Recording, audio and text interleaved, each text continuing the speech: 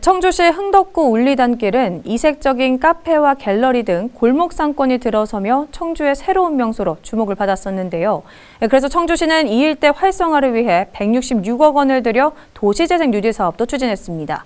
그런데 오히려 사업 이전보다 못하다는 주민 민원이 잇따르고 있다고 합니다. 어찌된 일인지 출동 HCN 임가영 기자가 취재했습니다. 레트로 감성이 물씬 나는 카페와 작은 갤러리, 음식점 등이 들어서며 SNS 청주 명소로 떠오른 운리단길. 청주시는 점점 쇠퇴해져가는 운천 신봉동 일대의 골목 상권 활성화와 울리단길 명소화를 위해 도시재생 뉴딜 사업을 벌였습니다. 자그마치 이 사업에 투입된 예산만 166억 원.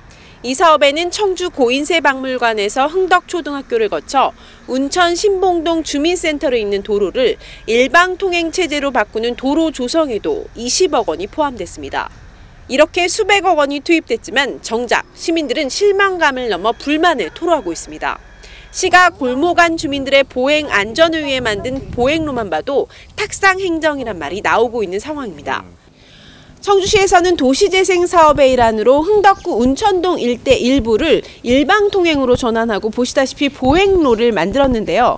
하지만 이곳에는 버젓이 차량들이 주차돼 있습니다. 뿐만 아니라 이곳을 찾은 시민들은 진입금지 팻말과 일방통행 표시로 골목길을 빙빙 돌다 지쳐 그냥 돌아가는 경우도 있습니다.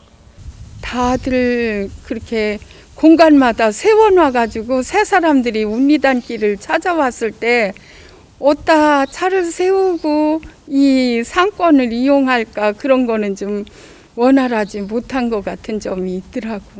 도로가 확장되면서 강화된 청주 흥덕초등학교 인근 어린이 보호구역 역시 원주민들의 원성을 사고 있습니다.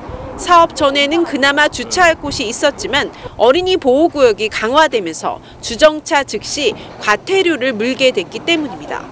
다 주위에서 주차를 못되게 하니까 물건 싣고 내리고 다 해야 되는데 그게 정말 이제 불편하고 이제 저희 손님들도 오면은 정말 이거 하기 전보다 더 복잡해져가지고 찾을 데가 없어서 막 헤매고 빨리 달라고 신발도 못 벗고 막 그러는 지경이 지금.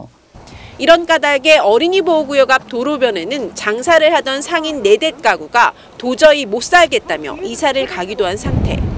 골목 활성화를 한다는 것이 되레 주민들에게 피해를 주게 된 꼴입니다.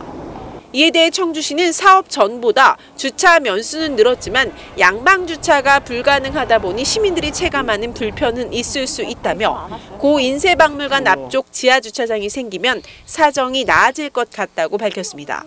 또한 올해 말까지 도시재생 뉴딜 사업이 계속되는 만큼 주민들의 민원 사항 등을 적극 수렴해 나가겠다고 덧붙였습니다. 주민들과 많이 협의를 통해서 개선해 나가도록 노력할 거고요. 또 사업에 뭐 필요한 부분이 있다면 뭐 사업이 끝난 후에도 적극적으로 저희가 협조해서 또 어떤 물리단길을 최대한 살릴 수 있는 방안이 있다면 그쪽으로 적극 뭐 사업 투입해서 검토해 보도록 노력하겠습니다. 전국적인 명소로 거듭나기 위해 수백억 원을 들여 손을 댄 울리단길. 하지만 옛길의 정치마저 느껴지지 않는다는 쓴소리와 지적이 잇따르고 있습니다. HCN 뉴스 임가영입니다.